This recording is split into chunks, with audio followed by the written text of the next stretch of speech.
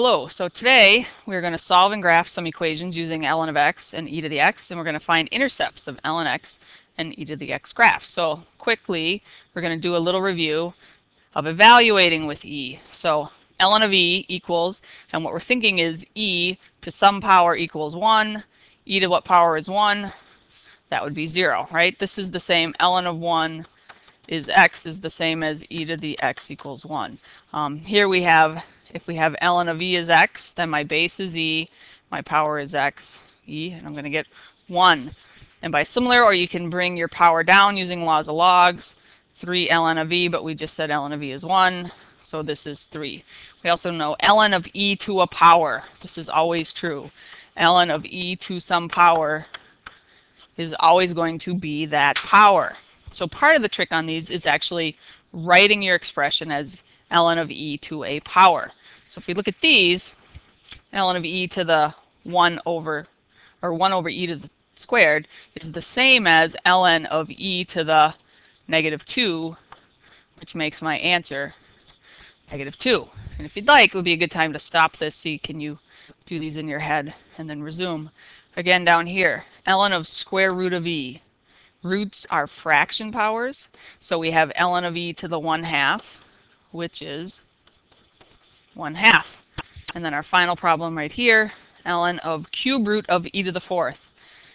Again, our roots are the fractions. The roots go on the bottom, so it's a cube root. So the 3 is on the bottom, the 4 is the power, ln of e to the fourth. The power on e that gets me e to the 4 thirds, rather, is going to be 4 thirds. So there's my answer. So now we can go a little farther. Now, so before with x was our exponent. We are looking for the power. We're looking for what the log equaled. Here we're solving for x, where x is in our argument. So again, we're going to go exponential. In this case, e to the 0 is x, but e to the 0 is the same as 1. So the answer for this, x equals 1. Here we have e to the 1 is x. Oh, so x equals e. That is an answer. It's a valid answer. It's not that different than saying that x equals pi. Um, you could do a decimal approximation. That's about 2.71828 on and on. And like pi, it never repeats. It never terminates. But E is an awesome answer. It's, a, it's an exact answer, and that's what we're looking for here. Let's try a couple more. Um, another one, your base. Once again, when you're solving logs, you do your base to your power equals your argument. And there's our answer. X is e squared. And that should make sense if you did a check. If I did, if I gave you the problem of ln of e squared, what would I get? I would indeed get 2. Right, now here we're getting a little more complicated. And so our idea is the same as solving for equations in other areas. To solve a log equation, it's not that different than solving a, trig equation or solving an exponential equation. Your first step is the same in all cases. Undo outside transformations. So those are the things by that I mean outside of the log. And then to get rid of the log, basically our inverse or our undoing our log is switch, switch to exponential or I guess we could say rewrite as an exponential. Once we've done that, then you can undo any inside transformations. So that's going to be true in solving all these equations. And, and it was actually true in the ones we were doing. Uh, there were no outside transformations, so I jumped right to writing it as an exponential. Here we do have an outside transformation. I have two actually. I have 1 minus ln of x. So I want to get ln of x alone. One way to do this, you could subtract the 1 from both sides and divide negative 1, or we could just add ln of x to both sides. Now I have a problem I just did a little bit ago. 1 equals ln of x, so e to the 1 equals x. There's my answer and we can check it if you want. 1 minus ln of e, but ln of e is 1. 1 minus 1 is 0. Okay. All right, here we're getting a little bit trickier. So again, outdo onside transformations. The outside transformations are multiplying by negative 3, subtracting 2, or adding 2 actually. Um, so I could subtract 2 from both sides, which gives me negative 3 ln x is negative 2. I still have another outside transformation that multiplying by negative 3, multiply by negative 3, and I get ln of x is negative 2 thirds. Now I'm going to, oops, I guess that doesn't move the way I want it to. So now I've done step one. I've undone my outside transformations. So now I go exponential. My base is e. My power is negative 2 thirds. And that equals my argument. And at this point, if there was something in there with x, I would have to undo that, but it's not. This is my answer. x is e to the negative 2 thirds. Or if you like writing it without negative exponents, which is often the case, um, 1 over e to the 2 thirds. It could also show up 1 over cube root of e squared. If this is a test, you can write any of those answers would be acceptable. If it's a multiple choice test, you might have to match your answer to this option or this option. So you want to understand what all those things are equivalent to. Okay, let's try another one. Um, so here again, I'm trying to undo my outside transformations. The outside transformation is multiplying by 4. Undo that. Dividing by 4. And I'm not dividing this inside thing in here. I'm dividing 4 times ln of x. Like these are two separate things. This is one thing and 4 is one thing. And when I divide my 4, I'm left with ln of x plus 3 equals 2.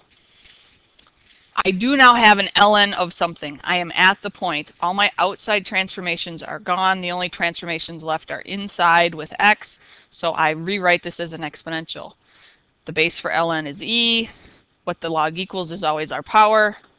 And that, the base to the power, is the argument. So now I'm really close to having x, but I don't have x. I want x alone. So now this is the first one where we're actually doing this third step. So I undid my outside transformations. I undid my switch to exponential. And now I'm going to undo any inside transformations.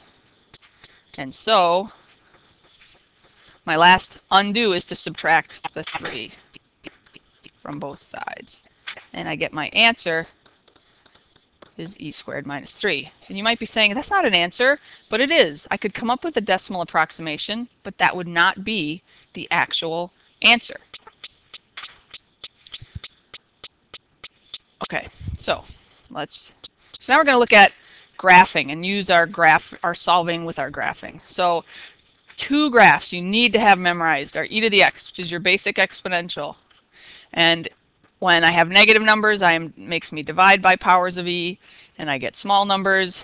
When x is 0, I get 1, and then as x gets bigger and bigger positive, I go up and up and up. My domain is negative infinity to infinity, and my range is 0 to infinity, not including 0. Now, ln of x is its inverse. So whereas this point or this graph, the e to the x has the point 0, 1, the inverse will have the point 1, 0. Whereas this graph has a horizontal asymptote at y equals 0, ln of x has a vertical asymptote at x equals 0. And the domains and range, because these are inverses, will flip-flop. So the range of e to the x is 0 to infinity. My domain is 0 to infinity. And my graph looks like this when I flip over my original e to the x over y equals x. Then the range, now I can go down to negative infinity and I keep going up to infinity. There is not a horizontal asymptote on ln of x. It keeps growing forever. It just grows fairly slowly. So we want these two graphs in our head, and now we're going to try and do some transformations of these graphs. Okay, so sketch the graph, find the intercepts, both x and y, find your domain and range. So I think about this. I have two transformations. We always start with x and move out. So the first transformation is x plus 2. That's a shift, and horizontals all go backwards, left, 2. So if I think about my e to the x graph, which looks like so, I'm going to shift it to the left, 2. the asymptote doesn't really move. Um, this point that was, so if I think about before I shifted it, this point right here, which is up one, that point when I shift, oops, is going to stay with it. It's still going to be up one, but it's going to be back at negative two. Okay, so that's just the first transformation. My next transformation is that negative, and that is a vertical flip. And vertical is not over the y. Vertical is up and down. This point that's right here is going to come down here. This point that's up here is coming down here, and so forth. And I get a graph that looks like this. So here's my answer, negative e to the x plus 2. This graph represents just e to the x plus 2. So now I need my intercepts. There is not an, a, an x-intercept. It never crosses the x-axis. Um, the one intercept I have is when is my y-intercept. And to find the y-intercept, you um, plug 0 in for x because that's what I want. I want to know what is y when x is 0. Right here, this point, the x coordinate will be 0. I know that. So what's my y coordinate? Well, I'm going to plug it into my function, negative e to the 0 plus 2. And that's the same as negative e squared. So this point right here is 0, negative e squared. This should make sense. It's a negative number. And I know that this right here is the point negative 2, negative 1. So I need a number that's bigger than negative 1 in magnitude, and the e squared would be that. So there's my intercepts. Domain and range. Ha ha ha. My domain is still negative infinity to infinity. When you have a domain of negative infinity to infinity or a range of negative infinity to infinity, you won't change that unless, actually you won't change it. The only things you can change are restricted domains or ranges. Um, my range started as 0 to infinity, but now it's negative infinity to 0. I can go down here as low as I want. I can get up as high as right before 0, but not quite 0. All right. Uh, let's try another one. Okay, 3 plus ln of x. So now we're, we're starting with our ln of x graph, which it's very important that you understand. Here's my normal graph right here. That's ln of x. What I'm going to do is my one transformation is to shift it up 3. So this point right here is going to go up 3. All the points actually go up 3. And here is 3 plus ln of x. Okay. There is no y-intercept this time. This time there's an x-intercept. So to find x-intercepts, you plug 0 in for y, and then we're going to solve for x. So in this case, y is my f of x. So I do 0 equals 3 plus ln of x. Now we're back to solving a log equation. I'm going to subtract 3 from both sides, undo my outside transformations. Once they're gone, now I go exponential. My base is e, my power is negative 3, and that will equal my argument, which is x. In this case, I'm done. So this point right here is e to the negative 3, 0. And there's my intercept. Okay. Uh, domain and range haven't changed from the original. So the domain is still 0 to infinity. My range is still negative infinity to infinity. And again, this e to the negative 3 could show up as 1 over e cubed. So this could also be 1 over e cubed 0. It's the same thing. It's equivalent. And that is a valid answer. It is a valid answer. All right. Um, let's try another one here really quickly. ln of x plus 2. So in this case, my transformation is to shift it left 2. So my asymptote, which is normally at the y-axis, is going back 2. And my um, this point that's normally at 1, 0, right, right here is going to go back 2. So I'm going to be at negative 1, 0. So there's one of my asymptotes right there. Now I need my other asymptote. And that asymptote is the y asymptote, which happens when x is 0. So again, I'm going to plug x equals 0. And I get y equals ln of 2. That is also a valid number. That is a number. It's the power on e that gets me 2. That if you type that into your calculator, you will get an answer. So I have the x-intercept of negative 1, 0, which I didn't have to actually plug in to find because I found it graphically. And then y-intercept of 0, ln 2. Uh, domain and range. Domain has shifted back to negative 2 to infinity, and my range is negative infinity to infinity. All right, let's try one more really quickly. I know this is getting long, but we'll try one more. Okay, so I have one more graph. Ln of 1 minus, or 1 minus 2 ln of x. This is, if we go step by step, I'm going to start with the negative in front. And so my negative, normally ln of x looks like so, okay, with an asymptote right here. This is a vertical flip, so that's up and down. This point up here comes down here. This point here comes up there. It'll still go through the same spot, okay? So there's negative ln of x. The 2 is going to stretch. It doesn't stretch this point at all, but it stretches the other points farther away farther away. So it's a little steeper. So there's negative 2 ln of x.